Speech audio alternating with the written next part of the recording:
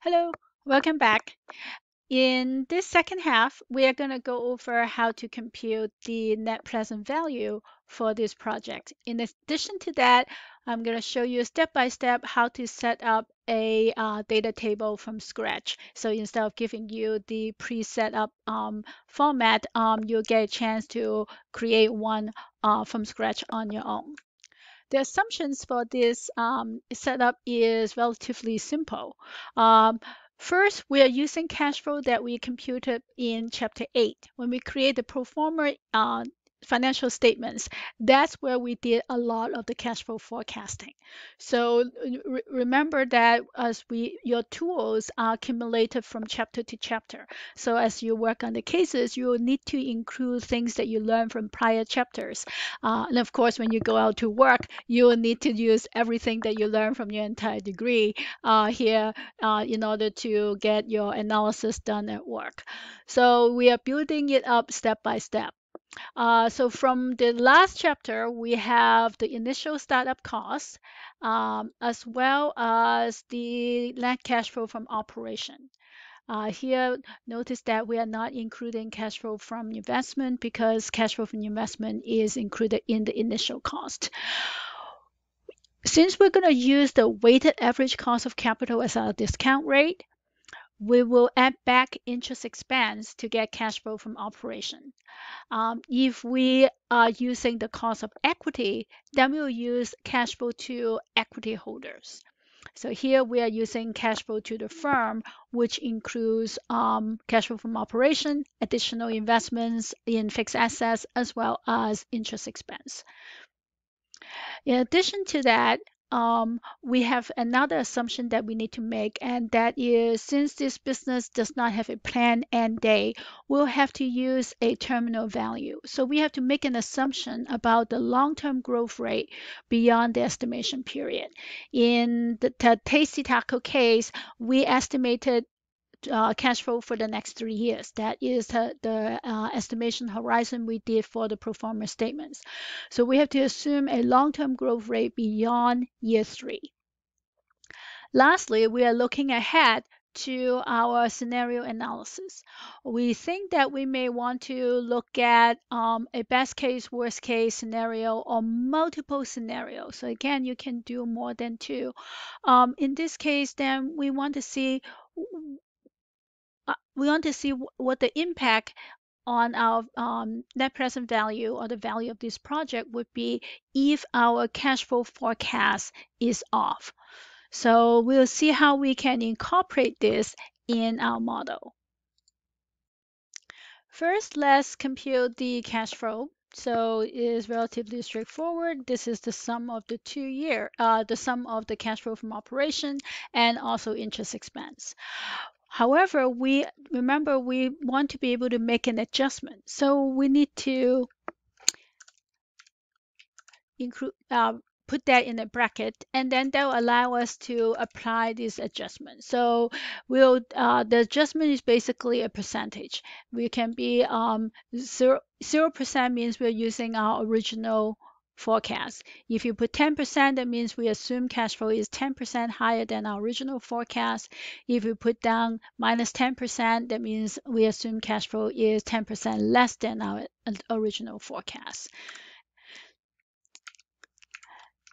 And we can copy that over to the next three years. So let's take, give this a try. So let's say what happens if we put in 10%. If you put in 10%, notice that your cash flow was higher. If we put in minus 10%, then your cash flow will be lower. 0% is your base case.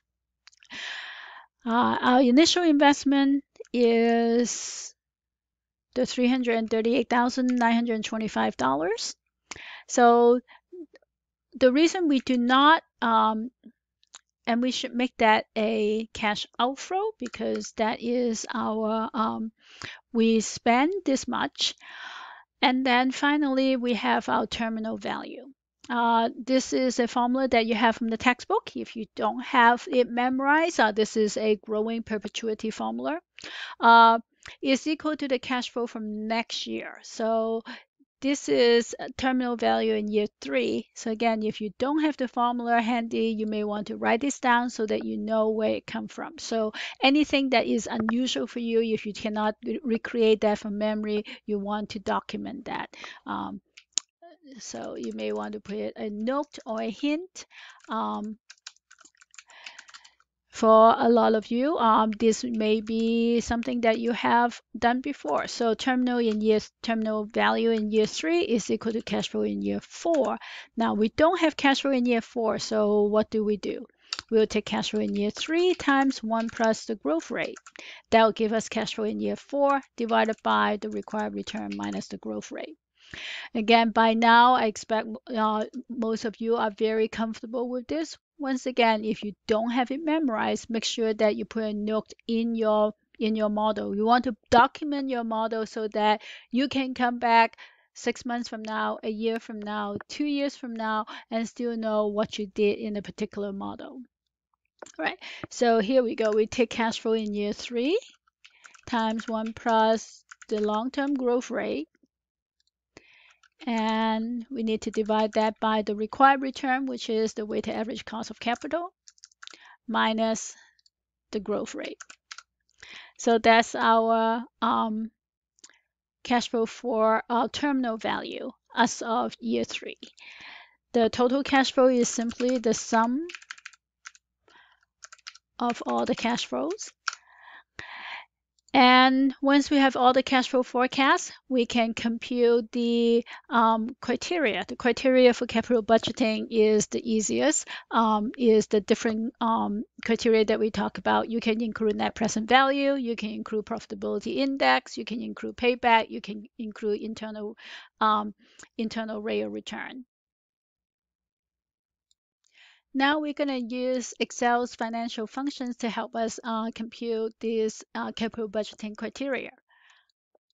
The net present value, there is a NPV function in Excel, and the interest rate is our discount rate, which is the weighted average cost of capital. Next is the cash flow, and this is an important assumption in Excel. Excel assumes that the first cash flow that you put in here starts in year one. So we cannot include cash flow in year zero inside the NPV function. So this has to start with cash flow in year one. We definitely want to include cash flow in year zero. We have to add that back in after the function. So we have the NPV function computing the net present value for future cash flow, and then we add back cash flow in year zero. That's our uh, net present value. Excel also have an internal rate of return. And notice that when you look at use the IRR function, it just says values. It did not say value one. So it actually start includes cash flow starting in year zero. So this can be a bit confusing if you're not used to Excel. So just remember NPV start in one, IRR includes year zero. Uh, next, this is useful to compute the net present value of future cash flow. In fact, we did that once already um, when we compute net present value. So you can do one of two things. You can actually compute this first, and then you can just uh, make your net present value equal to the present value of future cash flow plus the initial cost. And that will give you the net present value as well. The profitability index is equal to the present value future cash flow divided by the initial investment, but in a positive number. So we have the initial set, uh, startup cost as well. That should not be formatted as a percent, so we will make that into a uh, number. So that is our profitability index. Once your basic model is complete, we can then focus on analysis. This is really the most important part and the real reason why you create your model. Creating the model is the easy step. The most challenging step is actually getting the input variable. We spend a lot of time creating the pro forma uh, financial statements that allow us to estimate future cash flows. But we know that these cash flows are not precise. Uh, in fact, most likely the future outcome will not be what we predicted. So we want to perform sensitivity or, or scenario analysis. And the analysis is the most important part. To create these uh, sensitivity analysis, we're going to use data table. The way that I like to structure my model is to create each module of my model in a diagonal way. What that means is I do not want to overlap any columns or rows with each section of my model. So this is my this is the model area. I computed the um, capital budgeting criteria of net present value, IRR, and profitability index. So I want to be my new model, the next section when I where I'm going to do the analysis, I want it to be below and to the right of the model that I already created. The reason for that is if I make any mistakes in this new section of my model, I can add row, I can add uh, columns, I can sub I can subtract rows and I can subtract columns without affecting my original model. If I put my analysis here and I realize that I want an additional row, I will end up messing the original model and you do not want to do that. So let's go over here so there's no overlap in column and there's no overlap in rows. This is a clean place for me to do the analysis and you can give it any name you want. Uh, we are analyzing our cash flow forecast. So this is analysis. Um, we want to see what is the sensitivity to cash flow forecast. So we have this factor. We know that cash flow forecast can be over or under. So we can say maybe our cash flow forecast can be as far off as minus 30%. Um, you can have it increment by any amount you want. I'm going to increase it by uh, 10%. So let's say we look at a range of cash flow forecast where it can be um, as high as um, as far off as minus 30% and as high off as 30%.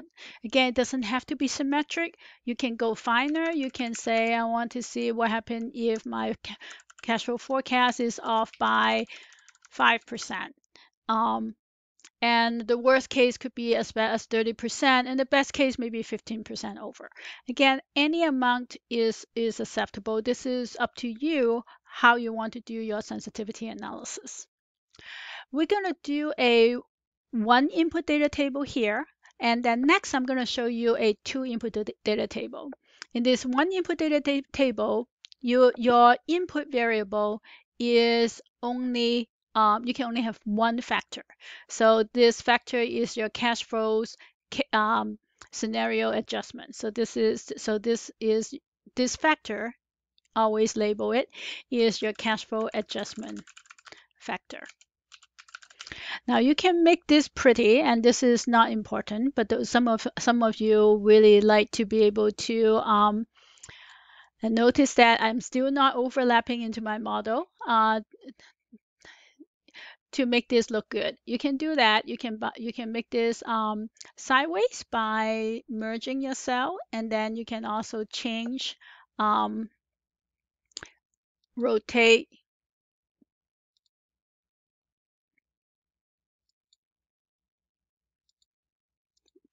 Here we go. You can rotate your your um, text. Again, this is just uh, a bonus tip for those of you who are interested. Most important is in setting up your analysis. So you want to this you want so let's say I want to add another row here. There we go. I can just add one. Um, what do I want to to analyze the sensitivity to? Well, it seemed to make sense to um, to take into account how does it impact present value or future cash flow. Uh, how does it impact net present value? How does it impact internal rate of return? How does it impact profitability index? And we already, and this should, so any of this should come from your model.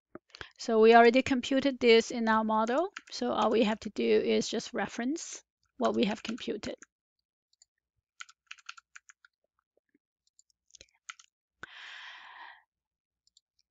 So now we have our basic mod, uh, data table setup.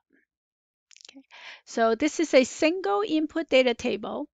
In a single input data table, the first column or row, it can go either way. In this case, I put it in a column, is the factor that you allow to change.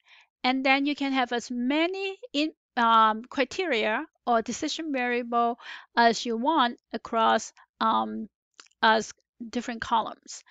To create the data table, you first highlight the table area.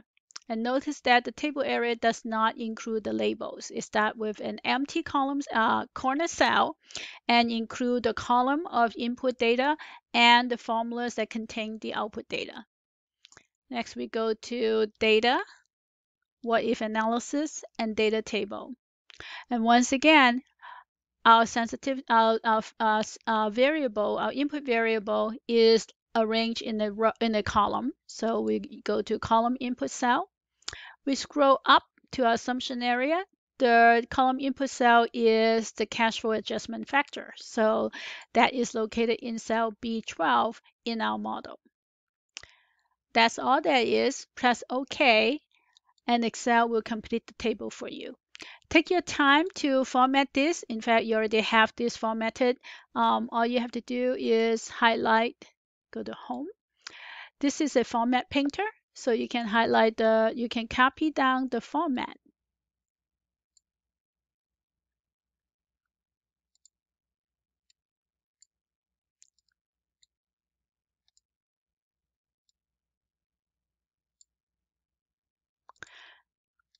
So that takes a lot less time in formatting your output.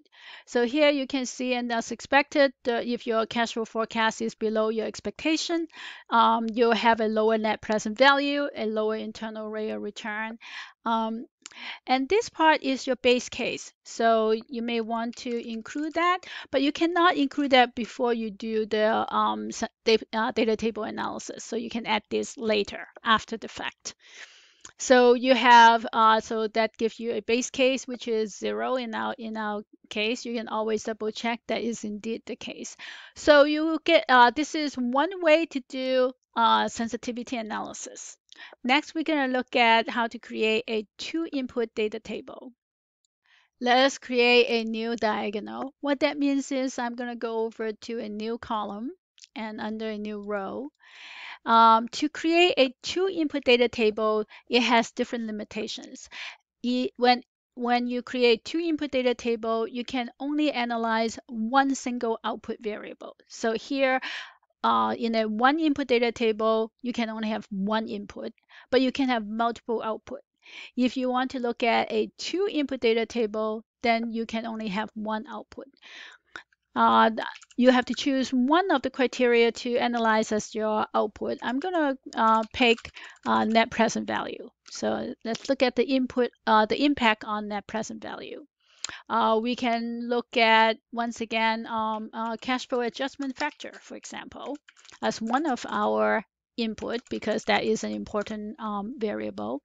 And you can look at different percentage. So again, I'm gonna just pick a few um, to start. So let's say negative 30%, um, negative 20%.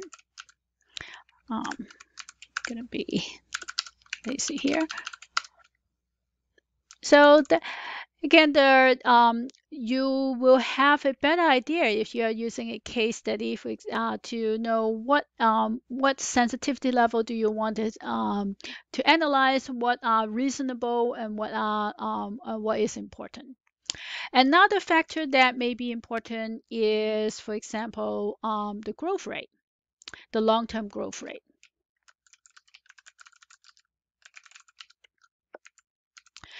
In the base case, we look at the long-term growth rate as 3%. So maybe the long-term growth rate is 0%, or maybe it's 1%, maybe it's 2%.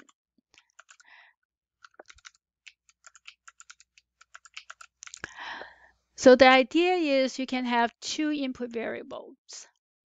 Now, one thing that is very important is that whatever input variable you use must come from the assumption area, and this and it also must not be a computed value. It has to be a number. And in the corner, So you, across, across the top here is your row of a of one of the input variable, and here's the column of your input variable. In the corner is where you reference the calculation of the output variable. So our output variable is net present value. So we'll say equal, and we'll reference the calculation for net present value from our model. Now we have created, we have to set up the data table. We can go ahead and ask Excel to do the analysis. So first we highlight the table. The, again, the table does not include the label, it only includes the values. Let's go to data and what if analysis, data table. Our row input, you have to remember this. So our row input is the cash flow adjustment. Our column our column is long-term growth rate. So let's go back to the assumption area. So remember row is cash flow adjustment, column is long-term growth rate. If you don't remember this, you may want to write this down so that you will um, you will not be confused when you want to input this in your uh, data table input. Once you have selected the uh, corresponding row input cells and column input cells from the assumption area, you can press OK. And Excel will complete, uh, complete this for you. So you can format this.